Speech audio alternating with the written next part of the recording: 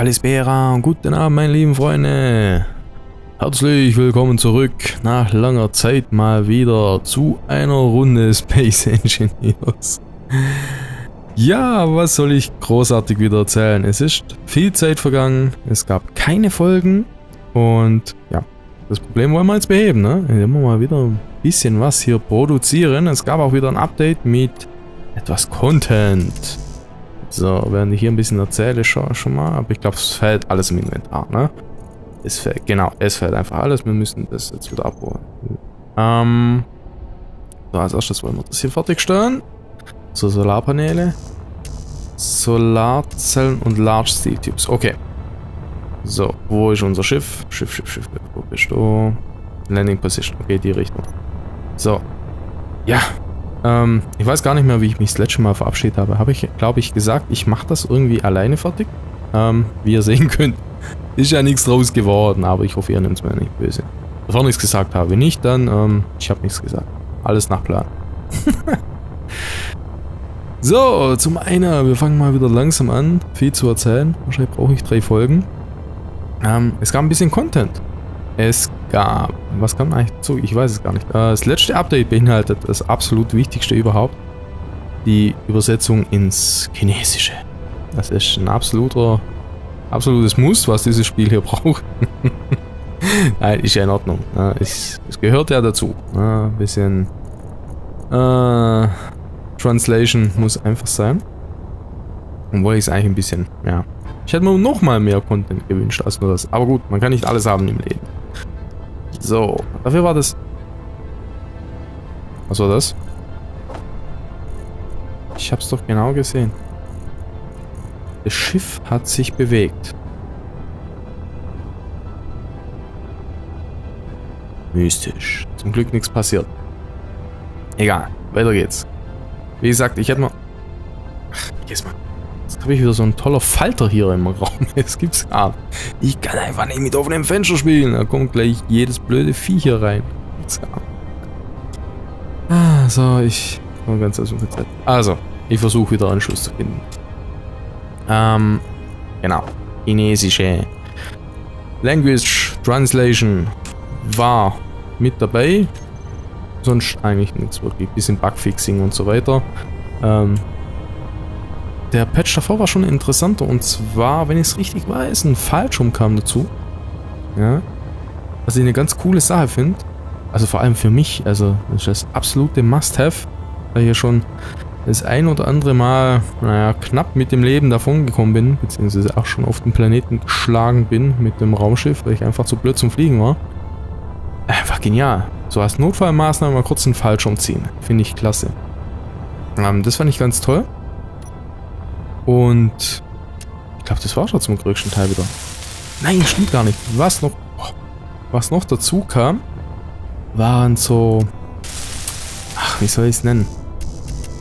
Ähm, nennen Sie es einfach mal, es gibt ein neues Random Event.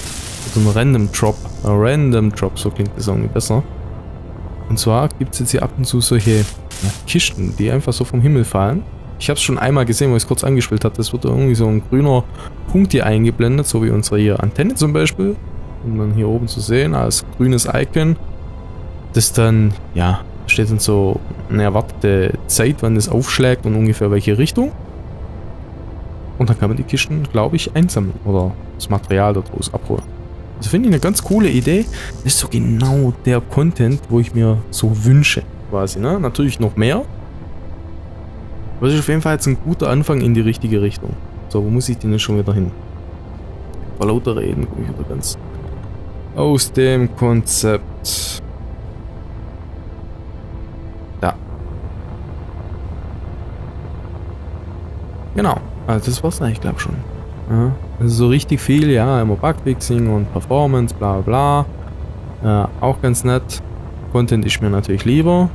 Ich weiß, es ist nach wie vor Space Engineer, der Hauptbestandteil hier drin ist Engineering. Ist auch alles gut, aber ein bisschen mehr, wie sagt man, Möglichkeiten, um mit der Welt zu interagieren und hier haben wir ein schönes Beispiel für Performance, wie man es nicht macht, Performance-Verbesserung. Ne? Wie gesagt, ich spiele in der höchsten Auflösung.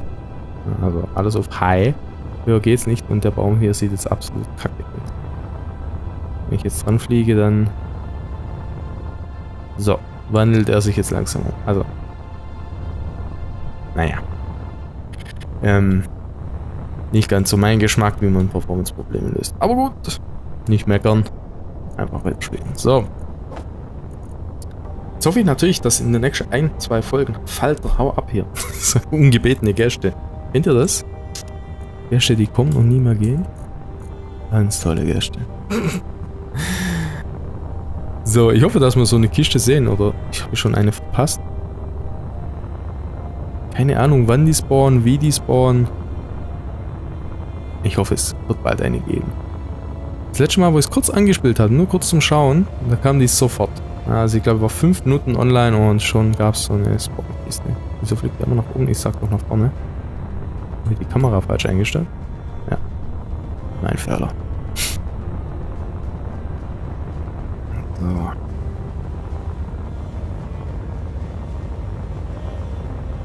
Ich warte ja immer noch sehnsüchtig auf das Update, wo dann hier diese Windkrafträder zur Stromerzeugung beinhaltet und vielleicht ein bisschen ein Update, so Motoren oder irgendwas für Fahrzeuge, für Rover, irgendwie was Tolles.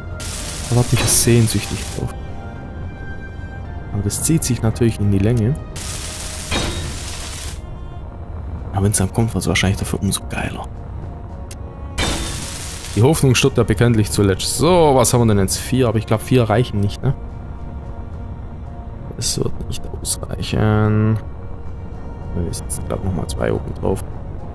Schauen wir mal ganz kurz bei der Batterie nach. Ah, wie sieht's denn aus hier? Output. Okay, die Antenne, die steht schon. Wir müssen den Broadcast höher setzen. Wir setzen mal auf... Ja, komm, 50 ganz hoch. Enable Broadcasting. Show Ship Name. Hm, noch nicht. So, jetzt wie sieht's aus? Batterie. Input, Output. Ne. Reicht noch nicht ganz. Deswegen wir brauchen noch mal Acht Stück müssen dann aber ausreichen. Ich glaube, bei der letzten Antenne hatten wir auch acht Solarpaneele, wenn ich es richtig weiß. Theoretisch sollte eigentlich eins ausreichen, aber... Ach, Steelblade. Ah, schon wieder was abholen.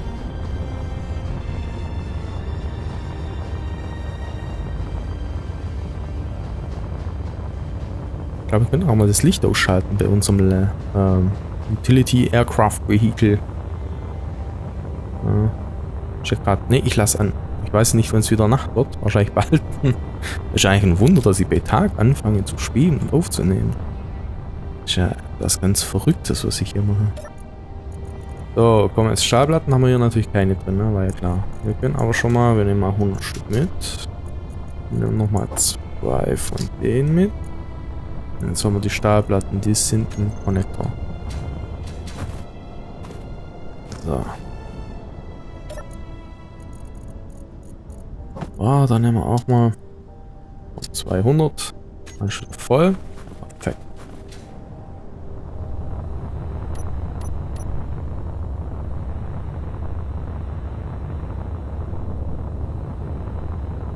Okay. Ja, auf jeden Fall so viel dazu, was an Updates in letzter Zeit rauskam.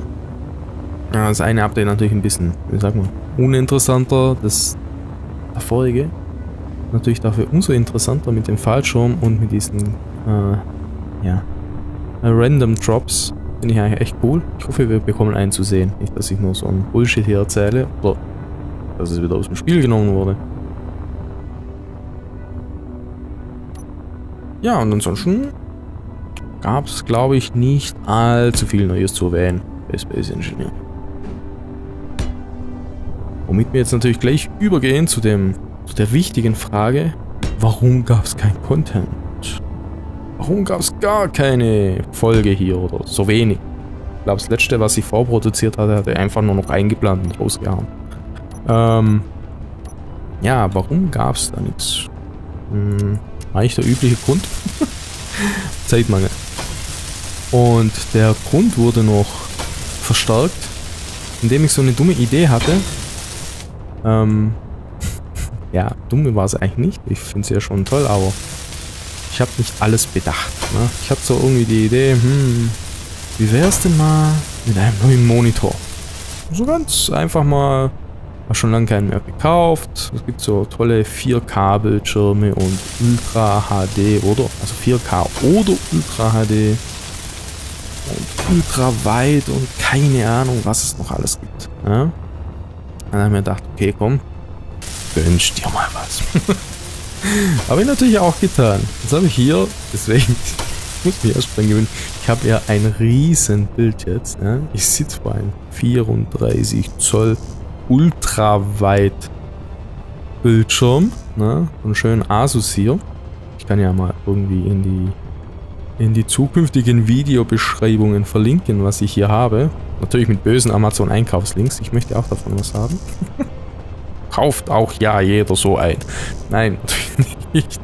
Das kostet Geld. Und ähm, ihr dürft natürlich kaufen, klar. Ja, was ich sagen wollte, ist einfach schweineteuer. Ich habe einfach gedacht, gönn's mir mal. Ich wollte Solarsender, Computer und Solarsender, okay. Ich habe einfach gedacht, gönn's dir mal. Ist schon ewig her. Ich muss mal von meinem alten Monitor wegkommen. Und jetzt habe ich mir den geholt. Und ich bin auch wirklich total begeistert. Es gibt natürlich nur ein Problem. Ich habe natürlich nicht weit genug gedacht. Ne? Ähm, ich kann natürlich jetzt in 4K und ganz tolle Auflösungen alle spielen. Nur das Aufnehmen funktioniert natürlich nicht. In dieser super magischen Auflösung. Da das die Elgato nicht hergibt. Eine schöne Aufnahmekarte. So, Ach, und das hat natürlich jetzt äh, viel Recherche benötigt, um irgendwie eine Lösung zu finden. Und das war eigentlich die Lösung, die ich schon nach 5 Minuten hatte, die ich aber nicht akzeptieren wollte. Und die Lösung heißt, ich muss bei meinem, wie soll ich es nennen? Super Ultra HD, Ultra weit Monitor. Ich glaube, hier ist zu wenig. Warum hau alles rein? Ja. So 11. Da nochmal 20 Ups. ein paar rein. So. Ja, ich muss jetzt einfach die Auflösung runterdrehen, bis ich wieder auf die Full HD Auflösung komme. Ähm, hat jetzt natürlich zur Folge, dass ich jetzt hier in meinem Ultraweit schöne zwei schwarze Balken links und rechts habe. Das ist so ein bisschen ärgerlich. Ja. Jetzt liegen mir die Falter schon auf die Nase. Ich glaube, es geht los. Ähm, genau so ein bisschen ärgerlich. Das heißt, das, die Idee war nicht voll ausgedacht. Ich habe so einfach gedacht, jawohl, ich zock hier voll geil in Ultra HD, Ultra Weitauflösung und nimm's dann trotzdem in, keine Ahnung, Full HD für euch auf oder in welchem Format auch immer, aber so einfach ist das natürlich nicht. Ja, so viel dazu. Das hat natürlich auch viel Zeit gekostet. Vor allem das ganze Teil hier anzuschließen. Ne? Ich habe hier zig Rechner, Tastaturen, äh, Mikrofon, Server. Ich habe ja hier alles rumstehen, vernetzt und verkabelt. Und damit ich die Kabel immer gestört haben, habe ich gedacht, ja, jetzt binde ich die Kabel mal zu einem wunderschönen, ach, wie sagen wir, Kabelbinder. Das ist nicht wirklich so ein Kabelbinder, man kann das Kabel da drin verstecken, also so aufrollen quasi. Ja, es war total mühselig, das anzubringen. Solarzellen, okay. War total mühselig, das anzubringen. Und es hat natürlich auch den blöden Beigeschmack. Sieht super aus, wenn mal alle Kabel verpackt sind. Und natürlich jetzt, wenn man Kabel austauschen muss. Ne? Ich musste ähm, mein ganzes Setup, sag ich mal, ändern. Ne? Die Elgato musste in andere Monitor angeschlossen werden. Und was dann auch nicht mehr funktioniert hat, war mein HDMI-Switch. Der funktionierte auch nicht mehr. Ich musste den Monitor jetzt mit einem über einen Displayport anschließen und so weiter und so fort. Das heißt, ich musste viele Kabel entfernen anders anschließen. Es war so toll. Ein tolles, gemütliches Setup. Ne? War die Xbox angeschlossen, war mein einer Rechner und zweiter Rechner, war alles über den HDMI-Switch, je nachdem welches Gerät ich eingeschaltet habe, hat es automatisch geswitcht. Deswegen der Name Switch. und ich hatte dann immer das richtige Bild. Man musste nur noch die äh, Elgato Aufnahmesoftware starten, konnte alles gemütlich aufnehmen und fertig war's. Wunderbar. Das geht jetzt natürlich alles nicht. Also alles entfernt. Ähm, Monitor direkt angeschlossen. Ein Elgato musste ich jetzt auch einen extra Port anschließen. Zum Glück hat die Grafikkarte noch einen frei gehabt. Jetzt sind alle vier belegt. Und ja, fertig war's. Es hat viel Zeit Vor allem die Kabel entfernen, wieder alle reinzumachen, alles zusammenzubinden. Ach, irgendwo unterm Schreibtisch dann zu verstecken und festzutapen, das war sehr mühsam. Deswegen gab es auch lange keine Folge. Und bis ich dann natürlich raus hatte, wie ich dann aufnehme und die bittere Wahrheit einfach akzeptieren musste, dass ich die Auflösung runtersetzen muss, das auch PC gekostet. Genau, jetzt wisst ihr Bescheid. Die Folge ist noch gar nicht vorbei und ich bin schon durch. Ich glaub's. Ich werde ja richtig effizient. So, einmal bitte Farbe anpassen. War ja hoffentlich schwarz. So. Aber gut, sei es drum. Ich kann ja jetzt für mich so, wenn ich ein bisschen spiele oder was vorarbeiten sollte, dann spiele ich natürlich hier in ultra weit. Ultra HD Auflösung. oh, ich sehe schon die Kommentare. Wird gleich belehrt, weil ich ja alles falsch sage. Ist das auch schwarz? Ne, da können wir vielleicht die Farbe hier nehmen. Die muss da eigentlich ganz gut aussehen. Na gut, ist mir egal, dann belehrt mich. Ähm, für alle Normalsterblichen da draußen, ihr wisst, was ich meine. Ja, genau. Deswegen spiele ich jetzt halt so. Beim Aufnehmen habe ich schöne zwei, zwei schöne schwarze Balken. Einen links, einen rechts. Und wenn ich so alleine was vorbereite oder so für mich spiele, spiele ich in dieser super Spezialauflösung. Gut. So sieht es halt einfach aus. Kann es nicht ändern. Ich hätte jetzt am liebsten gehabt, dass ich das ultra weit spiele. Und dass die Elgato einfach richtig unterrendert. So. Sie macht sie ja auch teilweise. Das Problem dabei ist nur, wenn ich das so aufnehme, dann habt ihr nachher zwei schwarze Balken. Einen oben und einen unten. Ja. Sofern ihr die klassischen, nenne ich es mal, 16 zu 9 Monitore benutzt. Wenn ihr auch ein 21 zu 9 habt, dann habt ihr die natürlich nicht. Aber das haben halt nicht so viele. Klassiker ist ja 16 zu 9 und Full HD. Und ich bereue den Kauf jetzt trotzdem nicht. Finde es trotzdem cool. Vor allem das Bild, auch wenn ich die zwei Balken habe, ist absolut riesig. Ne? Ich sitze da davor, ich, ich muss öfters Posen machen, mir wird es ja ganz schlecht. So großes Bild.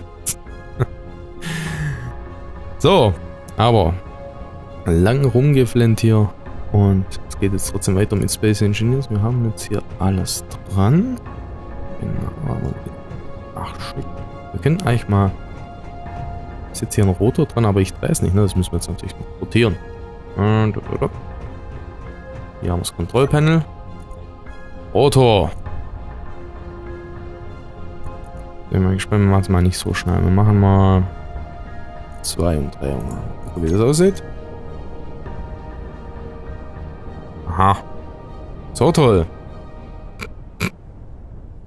Habe ich ihn nicht eingeschaltet? Wahrscheinlich, ne? Ich bin so schlau. Und fast zu schnell, oder? Schauen wir. Ne, geht. Würde ich sagen, oder? Wenn ich es noch schneller mache, sieht es dann bescheuert aus.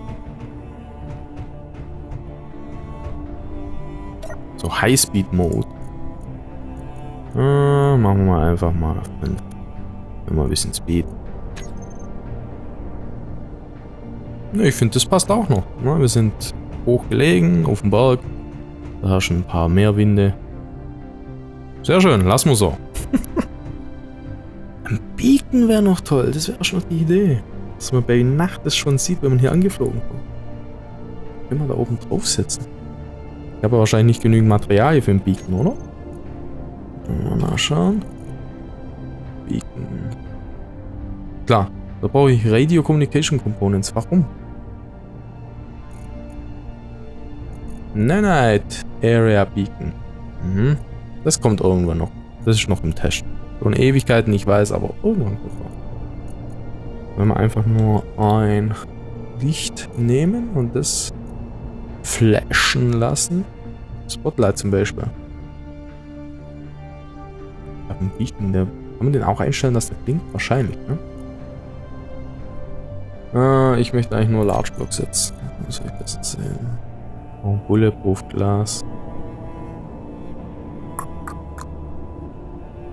Gut, das wär's. Das muss ich mir noch überlegen. Wir lassen es jetzt erstmal so. Ich hoffe, es kommt auch genügend Strom an, auch wenn wir das jetzt so drehen. Schauen wir nach. Äh, Current Input, jawohl. Passt. Mehr als doppelt so viel. Dann lädt die Batterie gut auf. Und sollte eigentlich nicht leer werden. Wir hoffen es einfach mal. Ja. Okay, dann sind wir eigentlich hier in der Station auch fertig. Ich würde sagen, das lassen wir so. Hier noch ein bisschen. Stufen können wir noch fertigstellen. Dass es einfach schick aussieht. Obwohl, wir lassen es mal so, ne? Das nehmen wir mit. Ach, da haben wir ganz viel zu wenig. Was brauchen wir da noch? Ein paar Interior Plates. Die hole ich noch ganz kurz. So viel Zeit muss sein. Äh, wo ist denn jetzt schon wieder der Landepunkt? Da. Und ich finde es voll schade, dass wir noch keine Kiste gesehen haben. Hoffe, die kommt jetzt noch bei Zeiten hier. Ich möchte was zeigen können. Wahrscheinlich in dieser Folge nicht mehr, wahrscheinlich in der nächsten. Bremsen. So, wunderbar. Ich möchte ja nicht hier aufschlagen. So, Interior Blades. Da kommen wir mal 120 mit. Brauchen wir noch ein paar Construction Components. Haben wir ja keine. Haben wir ja auch. So. Ähm, auch nochmal 101. Und ab nach oben. Haben noch genügend? Ja, eine volle Flasche haben wir noch. Dann müsste es ausreichen. So, nachdem ja, wie gesagt, das Update kam, ich euch ja erklärt habe, warum es so lange keine Folgen gab, auch allgemein, ähm, wird es jetzt wieder ein bisschen öfters Folgen geben. Wow, wer hätte es gedacht? Und ich werde jetzt auch mehr, wie soll ich sagen, versuchen mehr, mehr Inhalten die Folgen zu bringen. Äh, Habe ich auch schon des Öfteren gesagt, aber ja. Diesmal wirklich. Nein, war ja immer so geplant. Ähm, wie gesagt, Schiffbau wird es bald wieder geben. Nur, dass ihr wisst, was demnächst kommt. Was natürlich als erstes kommt, wir versuchen immer noch einen effizienten Weg jetzt zu finden, damit wir zu unserer neuen Basis kommen. Und in dem Sinne habe ich ja gedacht, wir machen hier diese... Ach komm, ich mache die sieht einfach besser. So. Ende Gelände. Da habe ich ja dann gedacht, wir machen hier eine Antenne nach der anderen, bis wir bei unserer neuen Basis sind. Also ist ja nicht mehr weit. Und dann können wir auch fernsteuern, wir können darauf zugreifen. Wir können remote-kontrollmäßig die Fluggeräte alles rüberfliegen. Wir können von unserer neuen Basis aus die Drohnen bei unserer Abbaubasis bedienen und so weiter. Das machen wir auf jeden Fall noch fertig. Deswegen gehen wir jetzt auch gleich wieder weiter. Wir sind nämlich hier. Äh, hier sind wir eigentlich erstmal fertig. Ich muss den noch umbenennen. Ich weiß aber nicht, wie soll ich den nennen. Antenne? ASF-Antenne, ne, das ist natürlich auch. Mountain Remote Station. Das ist ja auch eine Remote Station.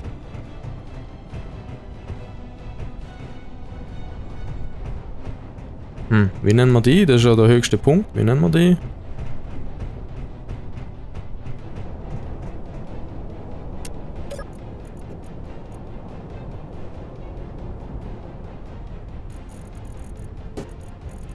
Gute Frage. Wie nennen wir die? Das ist Antenne. Was zeigt denn der eigentlich an? ASF Antenna. Ach, ASF, weil so heißt unsere Fraktion, ne? Genau. Halt, dann nennen wir das jetzt nicht Antenna, sondern... Ja, ich habe keine Ahnung. Das ist jetzt einfach mal die High Remote Station.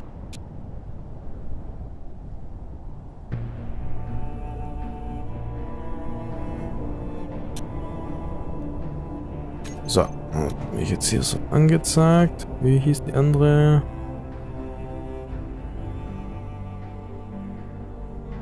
Mountain Remote Station. Ach, da habe ich es anders benannt, ne? Habe ich den Schiffnamen angezeigt. Wir versuchen es mal.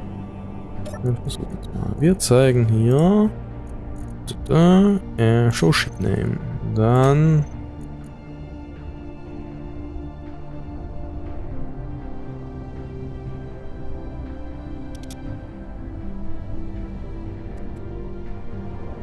Ich muss mir noch bessere Namen ausfallen. Für den Anfang High Remote Station.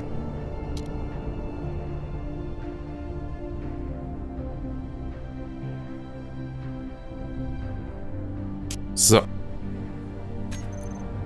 Dann müsste jetzt mich hier, wenn ich das jetzt umbenenne, die Antenne bekommt einfach einen Namen, die nennt sich einfach A1, weil es die erste Antenne ist. Und dann müsste es mich jetzt hier... Was? Nein, nichts tätig wird. Was soll das? Hm. Ja, schreiben sollen können. Ich drücke OK, damit es akzeptiert wird. So. Remote Station A1. Okay, das ist schon ein bisschen besser. Darüber müssen wir noch korrigieren. Machen wir aber später.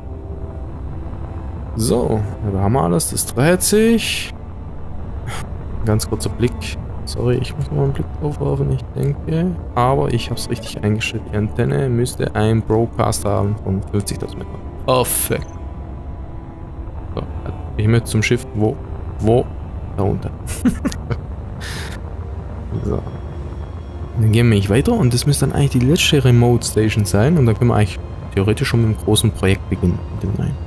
Und ich hoffe, dass ich dann auch in der Zwischenzeit gebacken bekomme, viel mehr an, ja, sozusagen, Content in das Spiel mit reinzubringen. Also ja, nennen wir es Content. Ich versuche einfach mehr Mods. Es gibt ein paar interessante Mods, die ich gefunden habe, die ich dann jetzt auch unbedingt aktivieren will. Ich möchte das Ganze, ja, wie soll ich sagen, storymäßig kann ich es nicht gestalten, aber ich möchte es ein bisschen besser ausschmücken. Mehr verschiedene Blöcke haben. Mehr. mehr. Ich, ich lasse sie sagen nichts mehr. So, ähm, habe ich das im Cockpit? Ah, Connector. Kann ich das noch schnell auswechseln? So. Und dann heben wir auch schon ab vorbereiten. Das kommt rein. Die nehme ich raus. Okay, passt. So, dann würde ich sagen, einsteigen. Schaffen wir das von hier aus? Jawohl. Äh, Batterie ist an. Wir starten die Triebwerke. Sind gezündet. Wir lösen die Lok. Wir heben ab.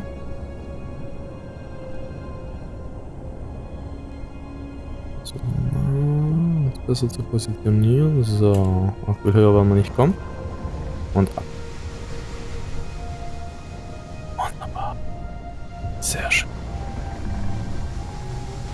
Na, dann schauen wir mal, wo müssen wir denn hin? Nicht da lang. Homebase ist diese Richtung. Dann fliegen wir am besten. Okay, alles klar. Hier entlang. Na, weil ganz drüber kommen wir nicht, müssen wir hier an der Seite vorbeischleichen. So werden wir es machen. Okay, meine lieben Freunde. Ähm, ich würde sagen, die Folge ist schon wieder vorbei. Die nächste kommt gleich im Anschluss. Hoffen wir es mal. Und ja, ich hoffe, ihr verzeiht mir, dass es ein paar Tage keine Folgen gibt. Oder gab. Gibt. Falsch. Nein. Ich muss richtig sprechen lernen. Dass es ein paar Tage keine Folgen gab. Es werden jetzt wieder hoffentlich so regelmäßig, wie es mir nur möglich ist, Folgen kommen. Und versuche die auch ein bisschen, ja, so interessant wie möglich zu gestalten. Sagen wir es einfach mal so. Ich gebe mir die größte Mühe. Und ich hoffe, euch gefällt es. Ja, werden wir bald wieder ein Schiff bauen. Erstmal aber den riesen Hangar und ganz zuerst die letzte Remote-Station. Und das in der nächsten Folge. Und danach wird spannend. Dann versuchen wir ja wirklich mal, ob wir so ein soll ich sagen, wo wir unser Flugzeug auch remote steuern können. Von Außenposten, äh, soll ich sagen, Mine nach neuer Basis. Dann geht's los. Okay, vielen Dank fürs Zusehen und bis zum nächsten Mal. Ciao. Adios.